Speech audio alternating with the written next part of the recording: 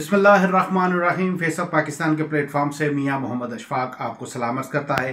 دوستو، اس وقت اسلام آباد میں مولانا کا دھرنا اپنے عروج پر ہے اور آج ان کے الٹیمیٹم دیے جانے کو دو دن گزر چکے ہیں۔ اس دو دن کے بعد کیا ہوگا؟ اور کیا عمران خان استعفیٰ دیں گے؟ مولانا کے اصل ناراض ہونے کی وجوہات کیا ہیں؟ یہی ہمارے آج کے گفتگو کا موضوع ہوگا اور اس پر گفتگو کرنے سے پہلے آپ سے گزارش ہے کہ اگر آپ نے ہمارے چینل کو سبسکرائب نہیں کیا تو سبسکرائب کریں بیل آئیکن کو کلک کریں کمنٹ سیکشن میں اپنی رائے کا اظہار دیں اور اگر آپ کو ویڈیو پسند آئے تو اسے لائک ضرور کیجیے گا۔ تو دوستو، یہ ملک میں بار بار یہ کہتا ہوں کہ یہ واحد پاکستان ہی ایک ملک ہے، جس ملک میں اس ملک کو نقصان پہنچانے والوں کو سریعام چھوڑ دیا جاتا ہے۔ وہ جب چاہتے ہیں، جس طرح چاہتے ہیں، ریاست کو بلیک میل کرتے ہیں۔ ایسی ہی بلیک میلنگ کا سلسلہ اس وقت اسلام آباد میں جاری ہے اور اس سلسلے کو میرا خیال ہے کلوز ہوتے ہوتے ایک ہفتہ لگ جائے گا۔ لیکن اس کے مقاصد کیا ہیں؟ کیا اس کے مقاصد محض صرف عمران خان کو ہٹانا ہے؟ کیا اس کے مقاصد صرف اور صرف مولانا کا حکومت کے اندر اپنا حصہ حاصل کرنا ہے یا اس کے پیچھے کچھ پوشیدہ مقاصد بھی ہیں؟ پوشیدہ مقاصد کے متعلق آپ کو بتاؤں گا۔ ظاہری طور پر تو ہم سبھی جانتے ہیں کہ مولانا فضل الرحمان حکومت میں، ہر حکومت میں اپنا حصہ چاہتے ہیں، لیتے ہیں اور اس حصے کو وہ انجوائے بھی کرتے ہیں۔ لیکن ایک صورتحال ایسی بھی ہے، جس صورتحال میں ریاست نے بعض اوقات بے شمار ایسے فیصلے کرنے ہوتے ہیں، جن فیصلوں کے لیے ضروری یہ ہوتا ہے کہ ریاست خود سامنے نہ آئے۔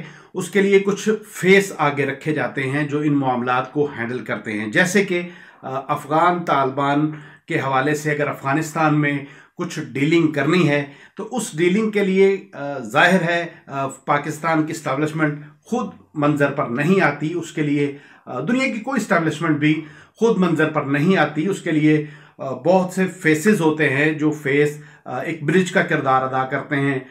حکومت یا کسی بی این جی او کسی بھی دوسرے ملک کے درمیان۔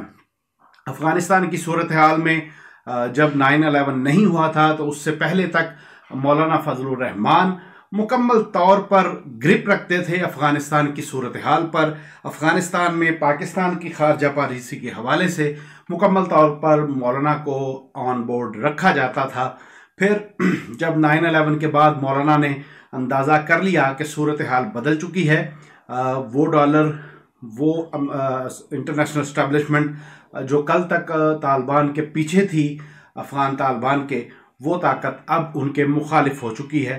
اور پاکستان کی حکومت نے بھی یو ٹرن لیا تھا اور میڈیا پر سب سے پہلا جو یو ٹرن کا ورڈ یوز ہونا شروع ہوا، وہ اسی وقت شروع ہوا تھا جب پاکستان نے افغان پالیسی کے حوالے سے اپنا یو ٹرن لیا تھا۔ تو اب مولانا چونکہ کہتے ہیں بڑے سمجھدار سیاستدان ہیں، موقع کی نزاکت کو انہوں نے سمجھا اور اس موقع کی نزاکت کو سمجھتے ہوئے انہوں نے کیا یہ کہ اپنا سارا وزن پاکستان کی سیاست میں ڈال دیا اور افغانستان سے اپنے آپ کو علیحدہ کرتے رہے، کیونکہ وہاں پر گرم ہوائیں چل رہی تھیں اور ٹھنڈی اور مزیدار میٹھی ہوائیں یہاں پاکستان میں تھیں۔ ان گرم ہواؤں کے ساتھ چل پڑے مولانا سمیع الحق اور یوں مولانا فضل الرحمان کا افغانستان میں افغان طالبان کے اوپر سے وہ اثر جو نائن الیون سے پہلے موجود تھا، وہ کم ہوتا گیا اور یوں کم ہوتا ہوتا اثر اس حد تک پہنچ گیا کہ اب مولانا فضل الرحمان مکمل طور پر وائٹ واش ہو چکے ہیں افغان، افغانستان کی صورتحال پر۔ پھر اس کے بعد دوبارہ سے پاکستان کی اسٹیبلشمنٹ بھی اور دیگر انٹرنیشنل قوتیں افغان طالبان کے ساتھ کھڑی ہو جاتی ہیں، جیسے کہ چائنا، روس اور دیگر ممالک کے اب دورے بھی طالبان حکومت کی جانب سے کیے جا رہے ہیں۔ تو ان دوروں سے پہلے بہت کچھ ہو رہا تھا۔ وہ جب ہو رہا تھا، اس وقت مولانا بڑے پریشان تھے۔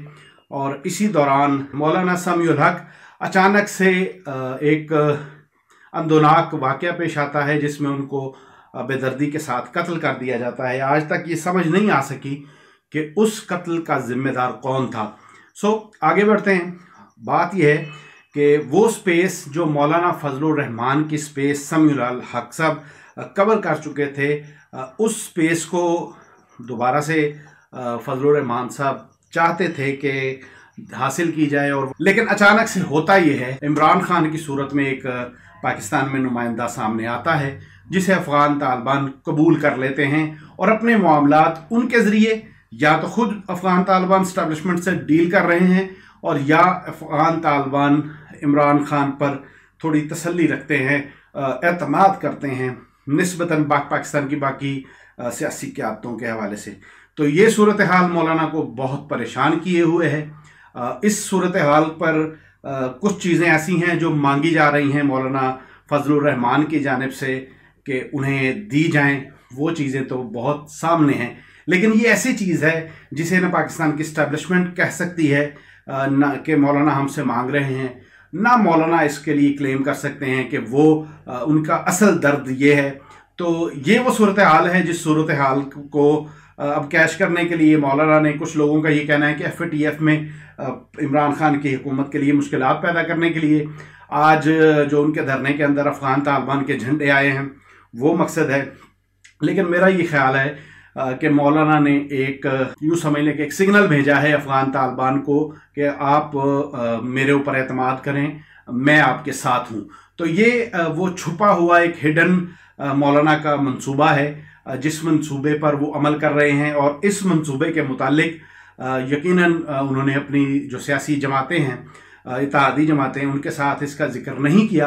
اور جس طرح سے میں نے کل کی ویڈیو میں آپ سے عرض کیا تھا کہ مولانا بلاخر یہ بھی کر سکتے ہیں کہ وہ آرمی چیف کا استعفیٰ بھی مانگ سکتے ہیں، D G I S I کا استعفیٰ بھی مانگ سکتے ہیں، یہ دو استعفے وہ مانگ سکتے ہیں۔ اس لیے کہ جب یہ بات کسی نتیجے پر نہ پہنچی تو مولانا اس صورتحال سے فائدہ اٹھائیں گے۔ دوسری طرف اطلاعات یہی ہیں کہ ریاست مولانا کے سامنے بلیک میل نہ ہونے کا فیصلہ کر چکی ہے۔ مجھے لگتا ہے کہ مولانا کو اس صورتحال سے کوئی خاص فائدہ نہیں ہوگا، کیونکہ جس طرح سے بیس سال کا عرصہ ایک بہت بڑا عرصہ ہوتا ہے۔ اس برسے میں ایک نسل جوان ہوتی ہے۔ بیس سال کی سٹرگل کے بعد افغان طالبان نے دوبارہ سے اپنی پوزیشن حاصل کی ہے۔